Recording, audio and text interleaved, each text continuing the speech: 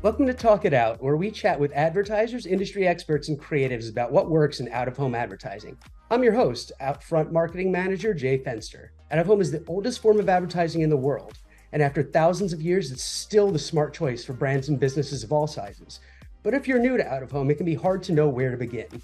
So today, we're going to discuss what first time advertisers need to know about this powerful medium. Joining me for the conversation are two of my esteemed colleagues, Julie Radovic, Group Vice President and Head of National Sales, and Eddie Herty, Vice President and National Creative Director of Studios, our in house creative agency. Thank you both for joining us today. Thank you for having us. Thanks for being having us here. Uh, so let's just start with the basics. What are the absolute first things to think about when planning an out of home campaign? Usually, um, when I'm having my initial conversations with clients, I don't like to go in with a presentation right away. Um, I think it's important to do a complete needs analysis to find out what exactly it is that they're trying to accomplish from the out of home campaign. So, going in there and trying to decipher things such as for starters, their budget, because that'll really sort of um, dictate what they can buy, um, what markets are important, if they are trying to make some a big impactful splash, or if they're really just trying to create generate buzz and awareness. So based on some of the feedback that I get from the clients, at that point I can go back and create a campaign that's specifically tailored for them because the unique thing about out of home is that you can actually buy the medium in a way that is tailored for exactly what you're trying to do and, accomplish the goals that you're trying to accomplish. And from the creative perspective, Eddie, what's what's the first thing to think about? We we kind of start off the same way um, with a discovery, right? A lot of times people show up with like a laundry list of things that they want to have on their their ad, which you know, that that's always a misstep. Out of home is different; it's unique.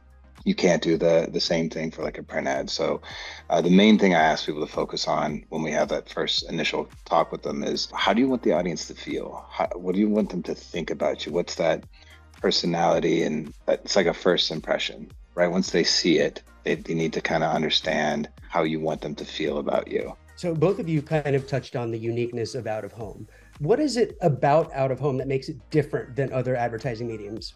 You know, I think it's although out of home is the oldest form of mediums out there, it's also probably still the most legitimate form of medium, in my uh, opinion. You know, there's no fraud. There's a lot of fraud that's found in digital. It's um, unskippable. You can't fast forward it. You can't avoid it. You're sitting at a stoplight or you're on a street and it's just there in front of your face. If there's a physical presence out of home in real life like no other, it's one of those again unique mediums where you can purchase it to target a actual location or a business or even a person um, so it's very unique in that you can make of it what you want and sort of create your own um, presence without a home that you really can't do with any other medium. It's a special medium. It's, it's basically, I think of it, and I'm sure Eddie can can sort of elaborate on this, but you've got a blank canvas to do whatever you want with it, and you can create something that's so visual, visually appealing and beautiful, and um, in your face. And you know, there's not a lot of other places that you can do that.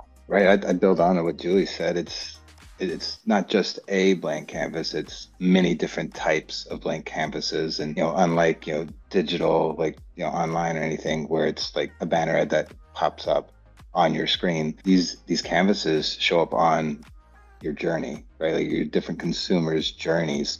And whether that's in like a moral or su- suburbs kind of outskirts of the city or like in the subways or you know, on the interstates, walking down the street, seeing a, you know, bus shelter, whatever it is, we can understand that audience, you know, that, that discovery that Julie was talking about before, understanding how, what your budget is and how we can reach specific audiences throughout their customer journeys on these different canvases. And that that's just not something other media can do. In addition to that, how it shows up on those canvases, you know, yes, the creative, you know, not just a design, but like you know a design at a certain time of day on digital, a design that's you know has a 3D element to it, a design that you can scan and interact with. There's a plethora of options when it comes to how we integrate these different canvases on these thousands of different journeys that people can take. It's very unique in that you're walking down the street and you feel one way, and then you see one of these canvases and it, it triggers an emotion in you and it causes you to think about not just that product, but your day moving forward completely differently. So, Eddie, you touched on uh, the discovery process earlier. Tell us a little bit more about what new advertisers can expect when we bring them on board and introduce them to studios.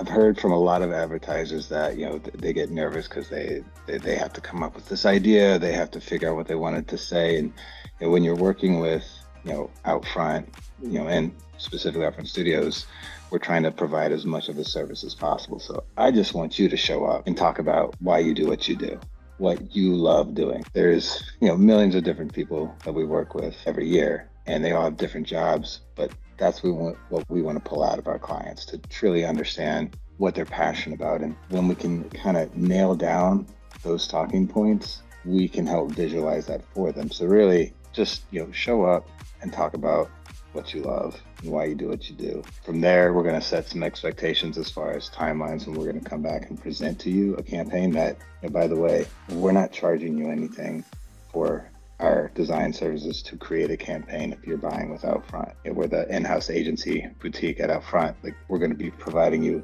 agency quality creative just for doing business with us.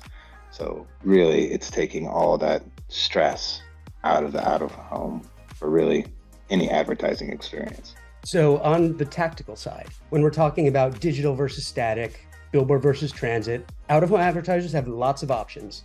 Why might somebody choose one or the other? Um, I think that goes back to you know the initial your initial very first question about trying to figure out what it is that they're looking to accomplish. So you know when you do this needs analysis, a lot of it will depend on you know who they're trying to target, what they're trying to what kind of message they're trying to get out there, and also quite frankly what their budget is. So if you want to create mass awareness or general awareness in different markets, I would probably recommend doing frequency media, which is basically focused on our transit media, buses, bus shelters, um, digital urban panels, video urban panels, things that are all over the cities. Um, you know, wherever you go, you see that. And you can really spread your dollar pretty far doing frequency media, bus kings, bus routes, anything that's just a, a large allotment. That's a great way if you're just trying to create awareness of your campaign. As far as digital versus static, again, it really just depends on what you're trying to do. We have a lot of clients that don't like digital because they don't like to share space. They like to be the only one on the platform. They like to utilize their billboards with cool creative capabilities such as extensions or build outs or 3D elements or some of the stuff Eddie was talking about where you can be interactive and you can't do that if you're sharing space with another person. So again, what they're trying to, depending on what their goal is, a static option to fully own it 100% would be better for something like that. However, digital offers a lot of flexibility, not only with your creative messaging, you can change out your creative at any time. You can day part your creative. So if you're promoting, you know, if, if you're Dunkin' Donuts and you want to promote coffee in the morning and donuts in the afternoon or whatever the messaging is, digital allows you that flexibility to do that. Out of home's also growing, expanding immensely in the digital space right now with programmatic offerings, with digital direct offerings. So again, part of that goes back to budget, but it really also goes back to your flexibility in creative messaging. So there's just so many options and you can really tailor it to really whatever the client wants. Finally, I'd like to ask about the synergy between out of home and other formats. For me, it really comes back to when clients do out of home correctly, out of home is the foundation. Of, of any campaign. We're not going to sit here and tell people like you should only buy out of home as, as much as we'd like that. Um, we, we think it's necessary to have other media uh, going uh, in union with out of home, but out of home is that driving force, that foundation that you can literally build uh, all of the campaigns on top of. Um, and to Julie's point, like you know, some preferring static, some preferring preferring digital. When you think of like static out of home as like that, you know, almost like a book cover, right? Like it's it's it's screaming the message of this book or this product and then inside that book the different chapters that's kind of where i see digital out of home coming through and kind of highlighting different points different um, seasons different uh, uh, messaging about that overall book that overall product. So when you think of out of home that way it, it makes it very clear that once you get that basic book cover that basic idea across you can build to any other media format from there. That's all the time we have I want to thank our guests, Julie Radovic and Eddie Herty. We'll see you soon with another episode. Until then, I'm Jay Fenster, and we're out here.